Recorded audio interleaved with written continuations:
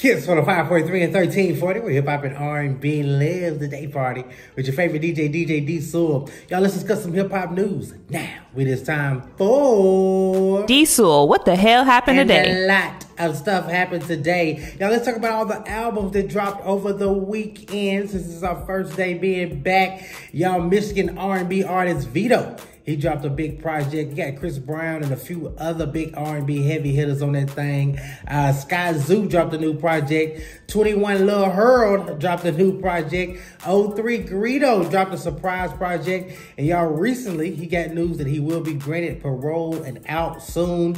Y'all, I do like 03 Greedo straight up. And y'all, Babytron dropped a new project. Bin Reaper 3 New Testament. I am rocking with Babytron. He got the Detroit flow, you know what I'm saying? He from Michigan, but Babytron be spitting straight up, y'all. I'm telling you, I really like that project. I know, just randomly, I like Babytron. Y'all, another news, everybody unfollowing Gunna. It ain't looking good for Gunna right now. Meek Mill unfollowed Gunna. Polo G unfollowed Gunna. Lil Baby unfollowed Gunna. I don't know if Gunna will be able to recover, y'all. It is looking bad for him in this music industry. Y'all, in other news, Iggy Azalea, she's getting ready to promote a new album and she's going to do it on OnlyFans. She said OnlyFans is the perfect platform to launch her multimedia concept album. She's going to post pics, videos, poetry, illustrations, Iggy Azalea, I don't know how that's gonna work out for you. Uh, it was something floating around talking about she made $300,000 in her first day. Iggy Azalea said she did not make that amount. And uh, also, something I think Iggy thinks that we forgot about, Tory Lanez was supposed to executive produce her new project. I guess Tory Lanez ain't gonna do that no more. Y'all, in other news, Ken Carson versus Trippie Redd. We talked last week about Trippie Redd getting ready to drop a new project called Mansion Music. Y'all, he got a bunch of songs on there and a bunch of features. Like, everybody is on Mansion Music. Literally everybody is on Mansion Music. And y'all, Ken Carson tweeted out that Hitters will feature Jesus himself and nobody will listen to that effort.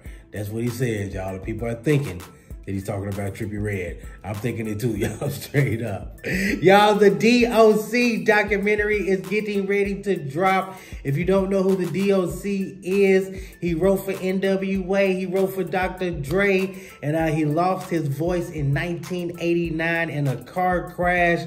He was a co-founder of Death Row Records and a mentor to Snoop Doggy Dogg.